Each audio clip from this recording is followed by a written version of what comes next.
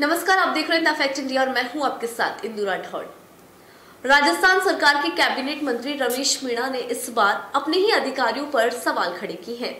दरअसल, रमेश मीणा ने हाल ही में एक बयान दिया था, जिसमें उन्होंने कहा कि जिस तरह से राजस्थान में पानी का भराव तेज हो रहा है, वहाँ पर हमारे अधिकारी काम तो कर रहे हैं, लेकिन इस बात का अगर पहले से ही पता होता तो व्यवस्था कुछ और होती। तो देखिए, क्या कुछ कहा रमेश मीणा ने, जरा सुनिए।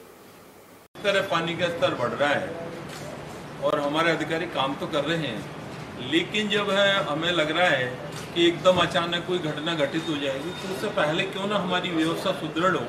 गाँव वालों को हम किस तरह मदद कर सकते हैं? गाँव टापू बन चुके हैं। खाने पीने की हमारी सुदृढ़ व्यवस्था मज़बूत हो। और जहाँ से हम आदमी ला सकते हैं तो हमारे पास संसाधनों की कमी है। मात्र तीन बोटें हैं। और हमें ज़रूरत पड़े तो हेलीकॉप्टर की सरकार से मांग करनी चाहिए मैंने ऊपर बात की है। उन्होंने कहा भी करौली ज़िले के अधिकारियों ने आ, हमारे पास प्रशासनिक सिस्टम से कोई मैसेज नहीं आया क्योंकि वो सी की मीटिंग ली उन्होंने कहा सब ठीक चल रहा है। लेकिन दौरा तो हमने हकीकत में मैंने गाँवों का किया है तो वहाँ ज़रूरत है संसाधन तीन वोटें मात्र तीन वोटों से नहीं हो सकता। कम से कम हमें दस वोटों की ज़रूरत है और आपके ऐसी एस की टीमें ज़्यादा बढ़ाई जाए। और ज़रूरत है अगर पानी बढ़ता है तो हेलीकॉप्टर रेस्क्यू की ज़रूरत है।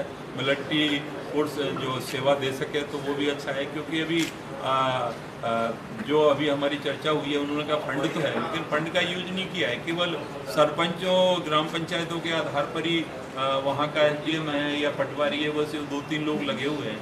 सरपंच को एक व्यवस्था छोड़ दी है खाने की तो अभी हमने दिशा निर्देश दिए कि जहाँ पर आवश्यकता हो और गाँव वाले जहाँ प्रॉब्लम है क्योंकि डिस्कनेक्ट हो गए हैं, उनके मोबाइल्स काम नहीं कर रहे हैं गाँव में। तो कलेक्टर एस पी सभी अधिकारियों को दिशा निर्देश दिया गया है कि गाँवों में पहुँच बस स्थिति का जायजा लें।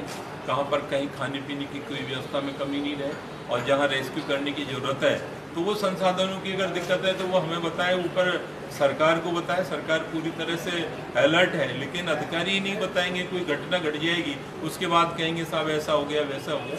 तो हमने बिल्कुल स्पष्ट कहा है कि ये बात ठीक नहीं है। जाकर के मौके पर संभाला मोर्चा संभालें और वहाँ निचले स्तर के अधिकारियों को दिशा निर्देश दें। किसी प्रकार की घटना नहीं घटे और गाँव वालों की जो भी हर संभव सहायता हो सके, वो पूरा करें। इस तरह पानी का स्तर बढ़ रहा है और हमारे अधिकारी काम तो कर रहे हैं। लेकिन जब है, हमें लग रहा है कि एकदम अचानक कोई घटना घटित हो जाएगी तो उससे पहले क्यों ना हमारी व्यवस्था सुदृढ़ हो। गाँव वालों को हम किस तरह मदद कर सकते हैं? गाँव टापू बन चुके हैं। खाने पीने की हमारी सुदृढ़ व्यवस्था मज़बूत हो और जहाँ से हम आदमी ला सकते हैं तो हमारे पास संसाधनों की कमी है।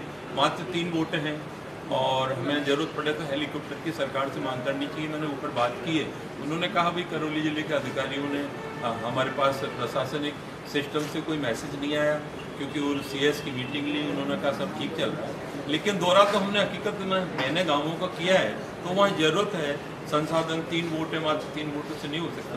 कम से कम हमें दस वोटों की ज़रूरत है, और आपके ऐसी एस की टीमें ज़्यादा बढ़ाई जाए।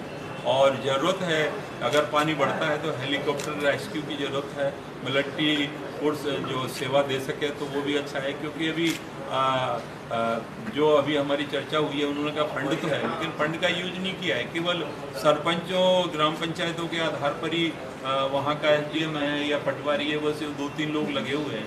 सरपंच को एक व्यवस्था छोड़ दी है खाने की तो अभी हमने दिशा निर्देश दिए कि जहाँ पर आवश्यकता हो और गाँव वाले जहाँ प्रॉब्लम है क्योंकि डिस्कनेक्ट हो गए हैं, उनके मोबाइल्स काम नहीं कर रहे हैं गाँव में।